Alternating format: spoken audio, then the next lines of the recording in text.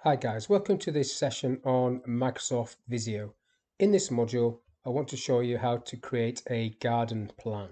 So this is the stencil I've chosen and you can see on the screen there, I have a plan uh, with some decking, a summer house, some grass, a lawn, a path and the kitchen of a house. So I want to recreate this from scratch. I'm just going to create a new page so the stencil, if I go back, in fact, I'll start from scratch. I'll go back, file, new, and you've got all these different stencils. And if I go on to categories, you can see the categories with the different um, stencils inside. So the one I've used is the home plan and it's there because I've just been doing it. So I'll just click on that and create a new one. So the, the stencils you get are furniture, garden accessories, and walls and structure. So I'm going to start off with the garden accessories and let's um, create a path. So I've got a concrete path. Now that's quite small when you bring that onto the screen. If I go to the view tab and select task panes, gives you the option to activate these. So shape data is already on. I've just knocked it off. So I'll keep it on, shape data. And then this one I want to see is size and position. So the size of this and the width of this. If I zoom in a little bit and then just come back across, maybe a little bit more, you can adjust this path and reposition this path, path wherever you want. So for example, if I elongate this, the measurements there you can see are reacting to me resizing this. So I'll just resize that. Now, if you want to have the measurements on the screen, obviously you can see what the actual size is without having this window, or if, if you print this off, you want them, maybe want this measurements displayed. If you search at the top there for measure, it will come up with these sort of tools. So you've got like, I'll just drag them on. That's that shape. You've got a vertical measure, which is that one. And then you've just got the measuring tool, which you can readjust yourself, which is the one I'm going to use. Just delete these two off. So you can position this, I'll position it on this side. So it's, it gives you the measurement of this path Now, if you don't want to do it like that, you can actually, because I've got the shape and size window up, you can actually type the length. It's in millimeters. You can just type meters if you want, five meters, um, which would be 5,000 millimeters. And then you just have that measurement there. You might want to put that on at the end when you've finished everything, just in case you haven't got enough space to have those displayed. And then to get rid of this, you just click the cross and you're back to your stencils. So I've got the, the, the concrete pathway now I want another one that going that way. Now I don't really need it to go the full length of the driveway. Now the garden itself has a fence around it, so you've got a wood fence so that you can start positioning. So the wood fence actually does go down all the way to the front. So if I come all the way that this way, and again the measurements is up to you to put this on. Uh, you've got the measuring tool, I've showed you how to get that. But the wood fence, I'll just spin this around so it has a fence coming down this way as well. And then it comes all the way back to this area. So you're just giving yourself a boundary and extending the the fence to the edge of the concrete if you can get it there. So that's not straight. You can see that's not straight. So you've you've got to either bring your, that up or this down. So I'll bring this down to make it horizontal. So just move it out of the way a little bit make that one a bit longer.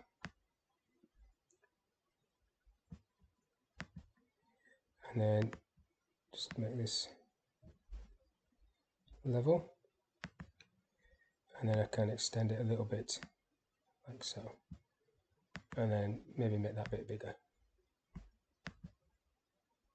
There is a gap. There is a gap between the path and the, and the fence anyhow. Okay, so your measurement would have to be readjusted. That's why I said you should probably put these on at the end when you finished everything. So that's that bit. And now I want a patio. So in the um, garden accessory area, there should be a patio, there it is, that runs all the way on the inside of, from the fence all the way down to this fence. I'll just move that over because that measurement tool's in the way. I want the summer house, so now we need to go to a different stencil, furniture. So we've got um, different furniture there. So what do I want? I want a reclining chair, these lounge chairs, but I want to put a summer house there first. So let's do that. Let's get a shape. Let's go for this. And let's sit that in the corner. That's where, where it is. So that has double set of doors on it. My summer house does, which I've just pulled down to be honest.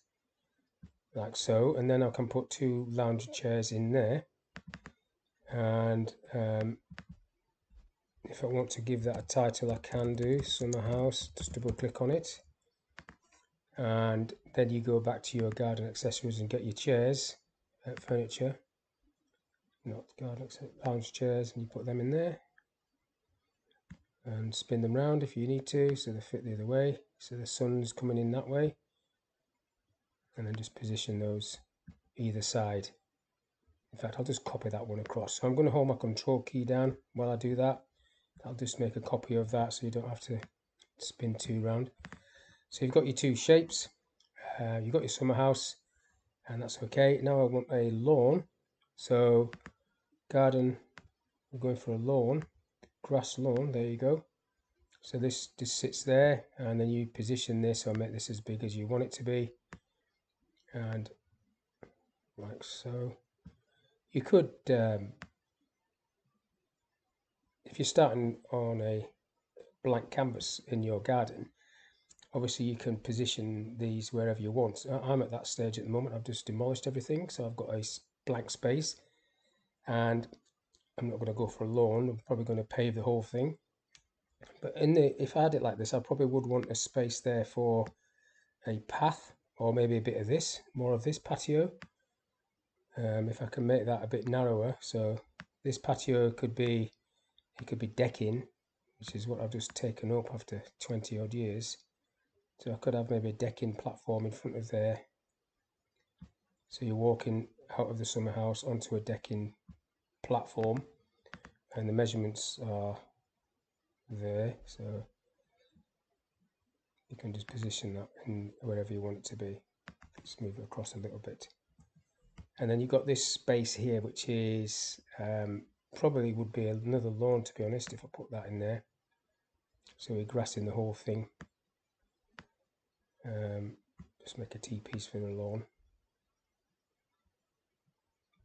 up to the side of the shed that'll do just bang that down a little bit and then you've got a, a, a T-piece just make it slightly smaller it's gone over the side of the um, Okay, so it's snapping and I don't want it to snap that far. So what I need to do now is look at this. Let's just try changing that down to 600.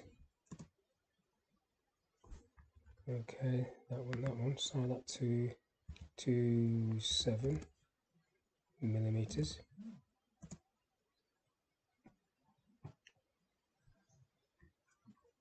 Let's go for two 6 then. That's okay.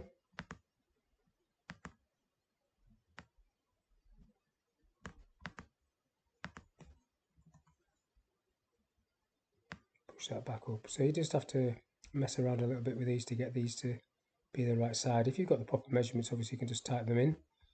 So that's playing about with me. So let's try putting 8 hundred millimeters, not eight thousand. I'm not going to do any more. This is the last adjustment, 850. 890. No, that'll do. Could be there all day doing that, but you get the right measurements and then you won't have that problem. Now, you may notice um, I've got the shape data window open and I'm now clicked on the page, so I'm not on a shape. So that's the grass. There's no shape data for the grass. Summer house, there is a bit of shape data for that.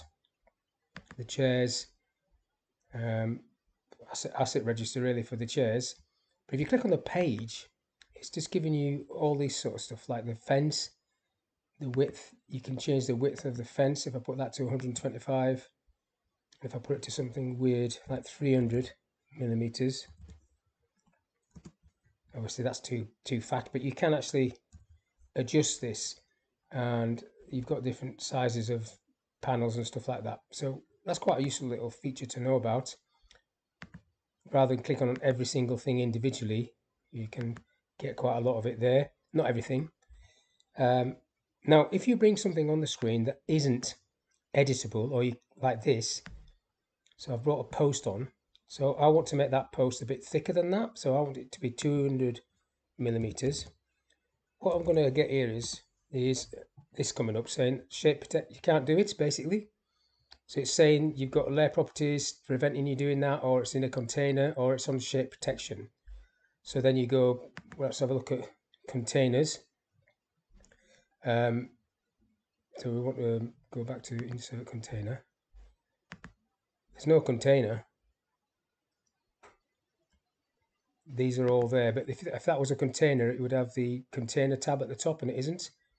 So then it, got, it went on about layers. So layers, layer properties. So this is all of it. So all you want is the post. You've got the fence there, wall. So there's no there's no layers there. So that's not got a layer. So just cancel that. But protection is what it is. If I go to the developer tab, and if you haven't got the developer tab on, you need to go to file options and in there you just tick developer and then all these all these features will be will be available so on under developer you've got protection and when you click on protection you can see that these three things are ticked. So if you take them off okay it will allow you then to change that if you so wished to be bigger like so. Now I didn't want I don't want that post at all so I'm just going to delete that but I just I just wanted to show you that if you bring a shape on any shape in any stencil that seems to be locked and you can't adjust it and you want to adjust it this is probably where it is. The the, the protection tab there. See, there's no protection on that so you can adjust that as we have done. We have adjusted that. Now I want to bring a, a the, the, the external wall of the house onto this. So we've got um, walls and structures and we've got external wall here. So I'll just spin that round and stick it in the corner there just to give it some external wall and the same thing we're going down this side here. External wall goes down there.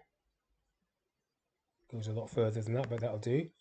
And in that you have a door just there and you have a window window probably sitting about there. And then this space is just a space so you've got spaces there and can just position this to wherever it needs to go and then elongate it to the bottom and just move it across if you want and then rename that